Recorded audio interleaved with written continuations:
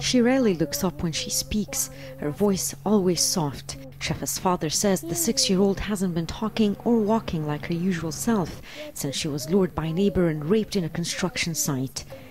He allowed us briefly to talk to her. We're not using her real name.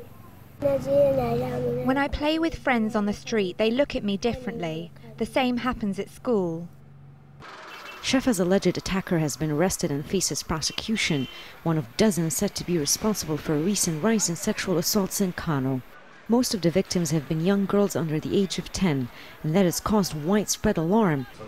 So much so that the local government has started a media campaign and pitching in community groups which have organized awareness sessions to educate mothers on how to protect their children and themselves. A discussion that turns into a form of group therapy as participants vent their frustrations. People are on drugs, uh, people do not have a job, and they think sex could be the alternative. I feel bitter and it shocked me to see a man of 70 raping a, a child of 7 a boy of 30 raping a girl of 8.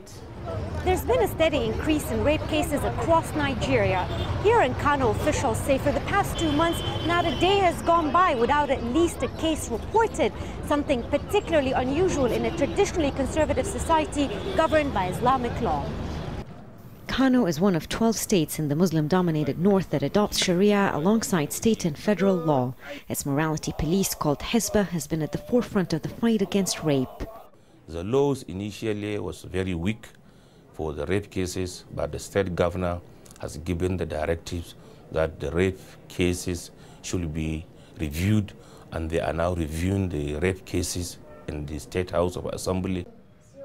The bill proposes increasing the current rape penalty of seven years in prison. Rapists would be sentenced to life if the survivor is a minor and 14 years in the case of an adult. At this clinic, which supports rape survivors, staff say the law cannot come soon enough. The extent of the suffering they've been seeing lately has been overwhelming. Rawya Al Jazeera, Kano, Northern Nigeria.